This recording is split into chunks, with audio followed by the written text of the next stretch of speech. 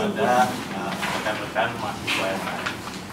Kira dengan sekian, uh, pada dua kata dari saya. Assalamualaikum warahmatullahi wabarakatuh.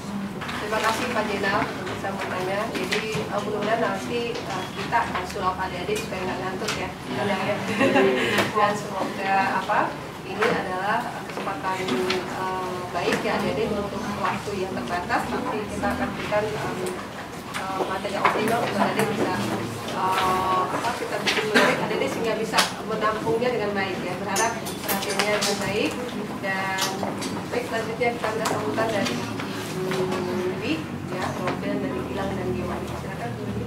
Ya, selamat pagi semuanya. Pagi. Semoga pada sehat semua ya. Ya, saya dari PT Gilang Ganesa bekerja eh, apa namanya dalam bidang marketing dan IT yang bekerja sama dengan IU untuk pelatihan ini terselenggara. Eh, kami mengucapkan terima kasih eh, adik-adik dan kampus Pak Bapak Jena sudah percaya kepada kami untuk menjalankan eh, apa eh, training ini. Dan kami berharap semoga adik-adik bisa me- mempergunakan apa yang sudah didapat nanti setelah kembali pulang ke, kamp- eh, ke Lampung. Dan eh, kami nanti juga akan membagikan eh, sedikit merchandise buat diingat kalau di Lampung kalau sudah kembali. Oke adik-adik, eh, kami mengucapkan selamat eh, menikmati training dan semoga eh, membawa hasil eh, di kemudian hari. Terima kasih. Selamat siang, Sa- nama saya Linda Saraswati Iskandar. Saya uh, trainer dan auditor untuk sistem manajemen mutu uh, K3 lingkungan food safety dan laboratori. Jadi pada hari ini tanggal 7 Agustus 2017 memberikan training basic safety uh, kepada teman-teman dari Politeknik Kesehatan Lampung mengenai seperti apa sih dasar-dasar K3 agar menjadi bekal mereka ketika mereka terjun sebagai insan di industri.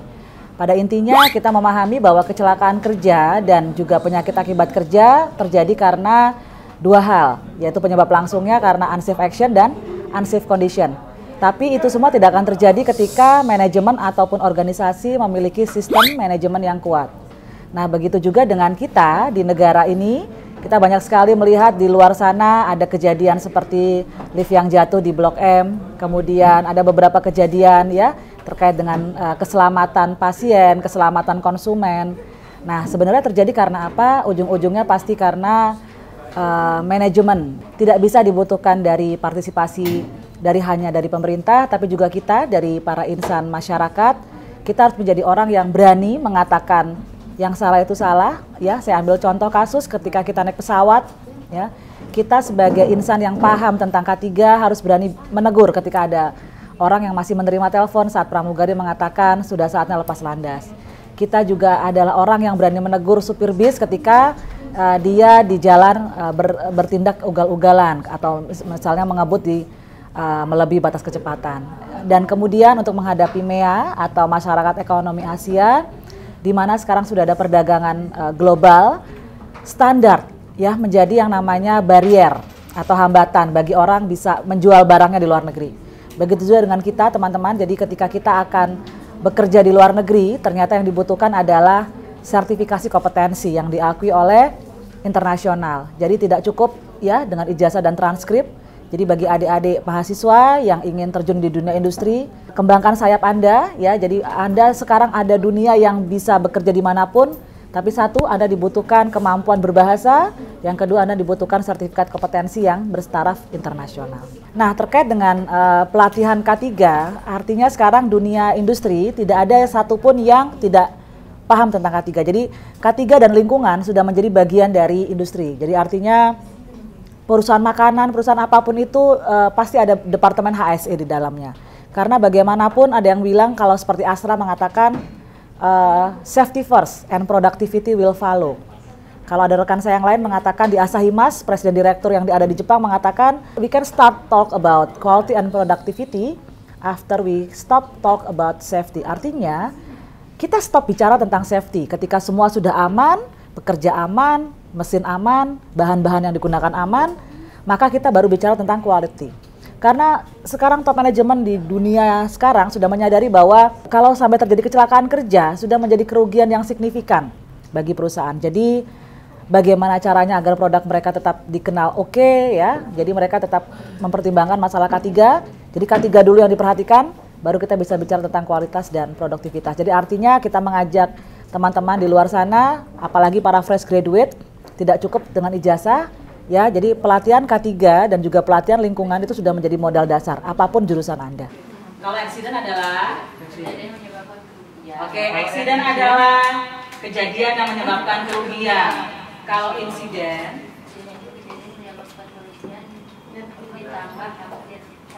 Atau yang tidak ada? Jadi insiden sama dengan kejadian yang tidak diinginkan yang menimbulkan kerugian maupun tidak menimbulkan kerugian. Tadi yang tidak menimbulkan kerugian apa Mbak? Hampir Hampir celaka. Jadi hampir celaka adalah kejadian yang tidak diinginkan, yang tidak ada kerugian. Paham? Oke. Jadi teman-teman, ini katanya teori Heinrich ya. Oke. Kejadian hampir celaka 600 bisa menyebabkan kejadian 30 kejadian yang disebut dengan kecelakaan ringan atau P3 apa P3 kan Mbak? Seperti first, apa? Pertolongan pertama pada misalnya tanganmu kena cutter itu cuma uh, pertolongan pertama gitu ya. Paham ya teman-teman ya? Oke. Nah, ini teman-teman rata-rata di perusahaan mereka membuat yang namanya program HSE tapi hanya terkonsentrasi pada permukaan yaitu baru mengukur pertolongan pertama sampai ke kejadian fatality. Apa fatality?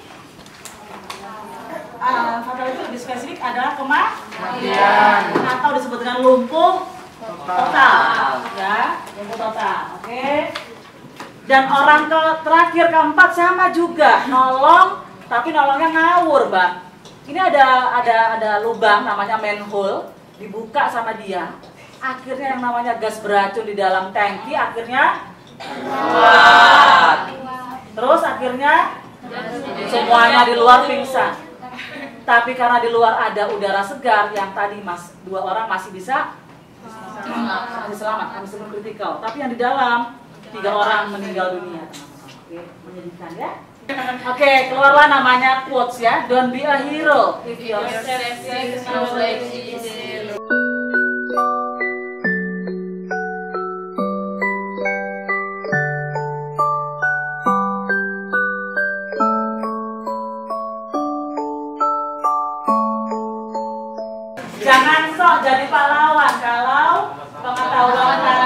jamu nol kayak ibu tadi.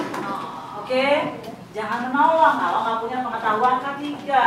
Jadi karena kita sekarang sudah punya pengetahuan K3, ada ngeliat api nih di, di uh, apa di kampus kabur gitu ya.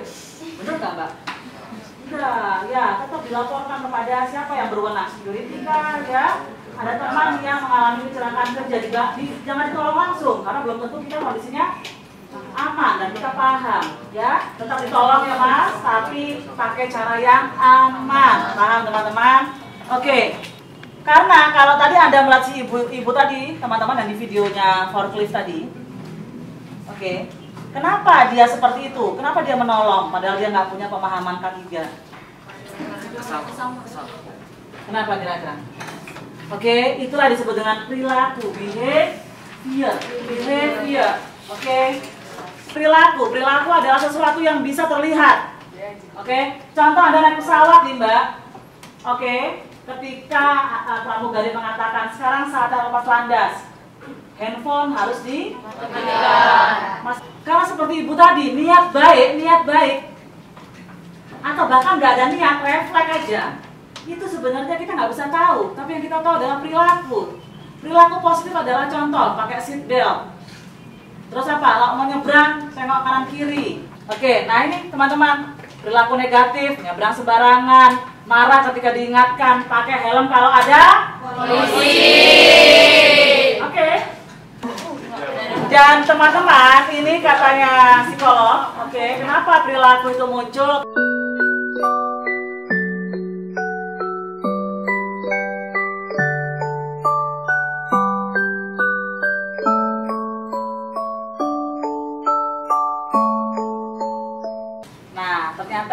Ada namanya hukum piramida, teman-teman, ya. Ini ya. Dan ternyata ini Mbak yang tadi saya bilang property damage ya atau kerusakan properti seperti temboknya rusak, mobilnya rusak ya. Orangnya baik-baik aja Belinda, iya, tapi itu namanya sudah ini disebut dengan kecelakaan. Oke. Karena sudah ada keru- kerugian. Tapi hampir celaka ada kerugian tidak? Belum. Itulah disebut dengan in insiden adalah accident ditambah nyaris celaka. Jadi insiden adalah sesuatu yang tidak kita inginkan, ada kerugian maupun tidak.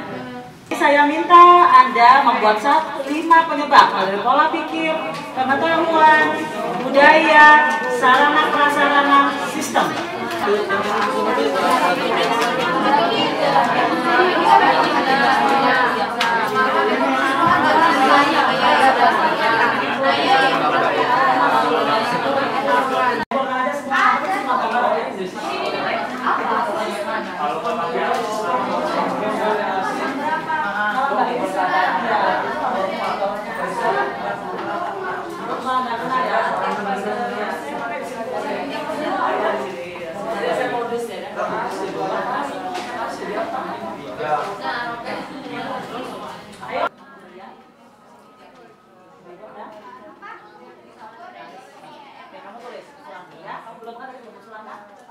baru kelompok satu yang berhasil menjawab masalah sistem. Aplaus Assalamualaikum warahmatullahi wabarakatuh. Nama saya Nur Hidayah, alamat Sukoharjo. Asal kuliah Poltekkes Tanjung Karang, prodi D4 Kesehatan Lingkungan. Kesan saya mengikuti basic training K3 adalah eh, saya bisa menambah ilmu pengetahuan saya setelah saya berada belajar dari kampus, lalu saya ikut pelatihan K3 di Jakarta ini. Saya lebih memahami tentang apa itu K3 dan bagaimana itu tentang kon- konsep K3. Untuk masyarakat yang belum mengenal K3 diharapkan juga akan ikut pelatihan K3 karena ini sangat bermanfaat untuk kita bekerja sehari-hari. Diharapkan lebih safety dalam bekerja sehari-hari dengan mem- mempertimbangkan oh, untuk memakai APD karena itu sangat be- berpengaruh bagi kesehatan dan keselamatan.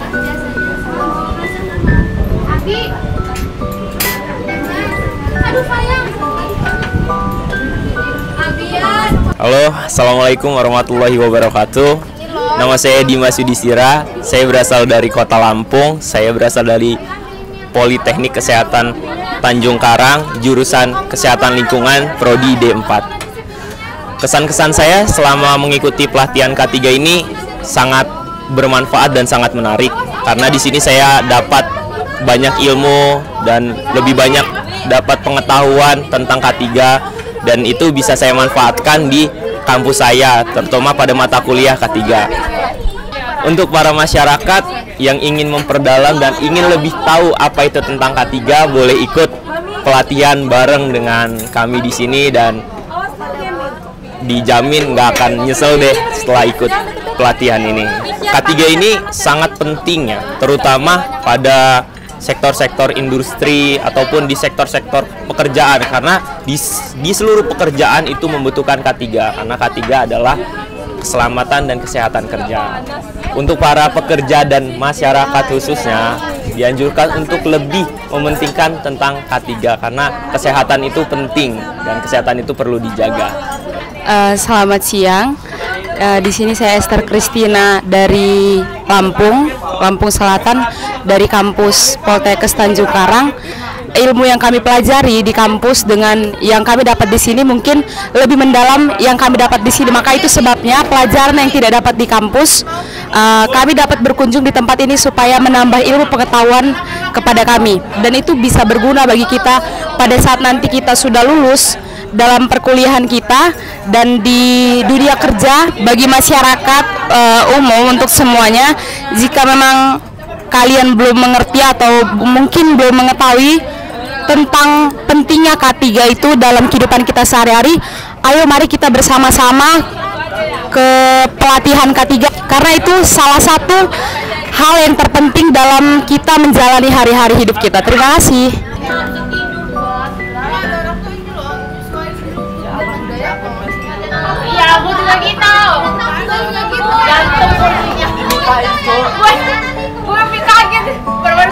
Assalamualaikum warahmatullahi wabarakatuh. Saya Rizky Pratama dari Prodi D4 Kesehatan Lingkungan. Asal saya dari Bandar Lampung. Kesan dan pesan saya saat mengikuti K3 di sini itu yaitu pertama bisa menambah wawasan saya akan K3 itu sendiri yang pada dasarnya saya pun belum begitu mengetahui K3 yang sebenarnya itu seperti apa. Jadi di sini saya sangat apresiasi sekali terhadap dosen saya termasuk Pak Sri Indra, Pak Zainal Muslim dan Pak Rifai yang telah mendukung kegiatan ini sehingga mengajak mahasiswa agar bisa menambah wawasan, ilmu serta membimbing mahasiswa untuk mengetahui K3 itu sendiri. Bagi masyarakat yang belum mengetahui K3 itu sendiri, dihimbaukan untuk bisa ikut pelatihan K3 yang terdapat di berbagai kota untuk mengetahui pentingnya kesehatan, keselamatan kerja, meminimalisir terjadinya kecelakaan saat bekerja. Terima kasih dari saya. Assalamualaikum warahmatullahi wabarakatuh.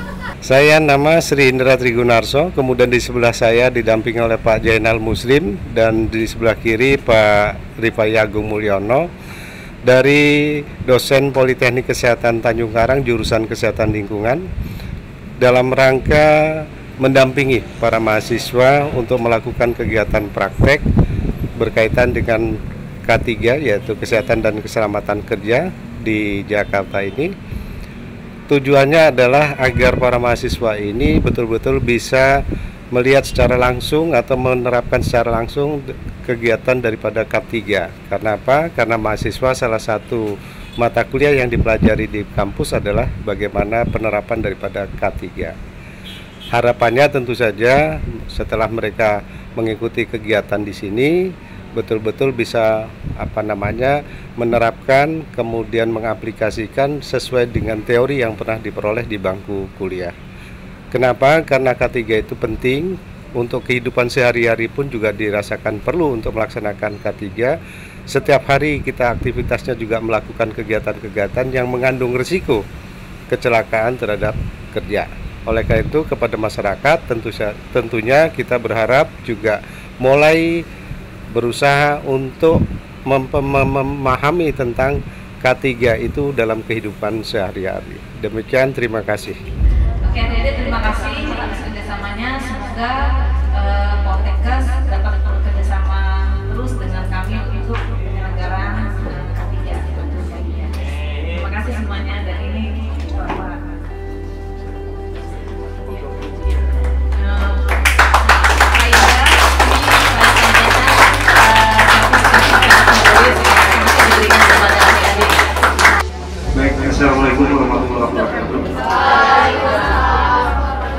Ibu-ibu, karena yang ada di depan ibu-ibu, ibu-ibu yang kami hormati, atas nama Politeknik Kesehatan Kementerian Kesehatan Tanjung Karang, khususnya jurusan Kesehatan Lingkungan, tentu saja menyampaikan ucapan terima kasih.